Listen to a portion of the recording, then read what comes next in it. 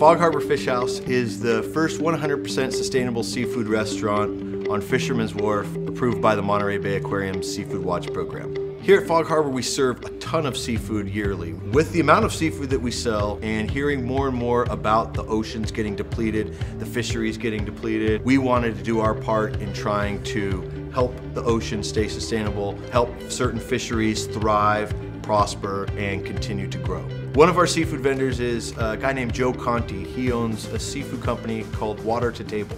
So what I do is I, uh, I pretty much pick up fish directly from fishermen up and down the coast between Bodega and uh, you know all the way down to Monterey, Santa Cruz, Half Moon Bay, and all the ports here. You'll see. What's really cool about tonight is we're going to be dealing with some really small-time fishermen that are taking off out of Berkeley here.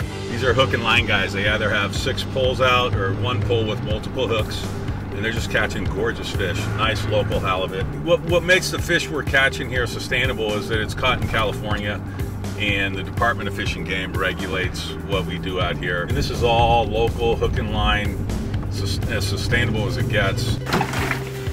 Just got them right off the boat. I'm gonna put them on ice. They'll be at Fog Harbor in the morning. When Joe delivers fish, a lot of times that fish is caught less than 24 hours ago, and we buy fish every day. So if you get some of the fish from Joe, it's served out of the water less than a 20, 24 hour period, and it just doesn't get any fresher than that. We care about sustainability because we think it's important for the environment.